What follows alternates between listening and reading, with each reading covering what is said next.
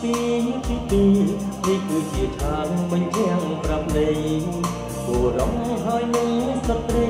ភរិយាស្វាមីនៅក្នុងជីវិតតែមិនមែនជាការពិត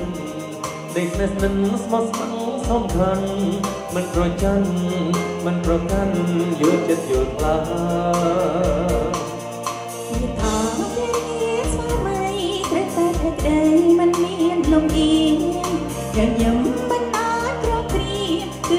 ស្ពានសោភ័យមែនតើ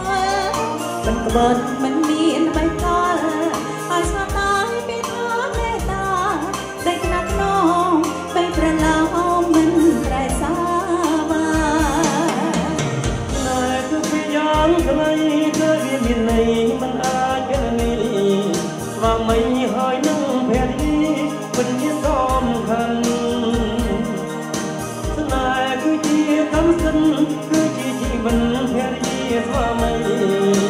បើទៅលោឬនោនោមលោកៃចំមកលើហេស្វាមីព្រះញាគឺជាវិគាសួនសួរអតមជីវិតសុខសាន្តសុខដុមគឺរកជួបជុំគឺស្មោភក្តីប្តីមួយប្រពន្ធមួយ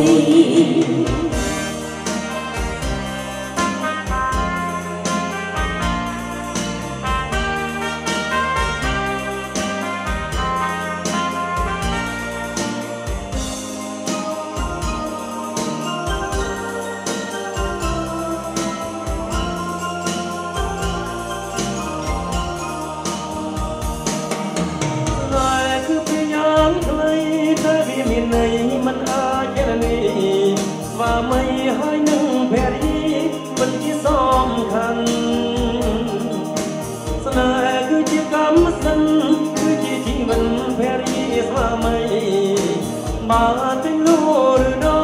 លោកលោកៃចំមកលើ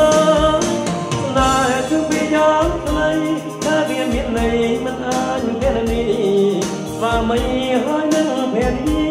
ពិតជាសំខាន់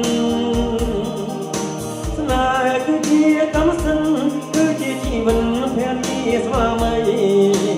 មកទាំងលោឬដោលោកលោកៃចំមកលើហេ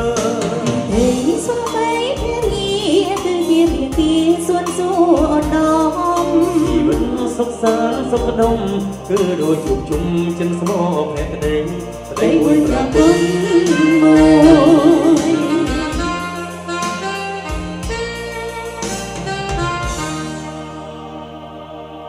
ស្មោះគឺ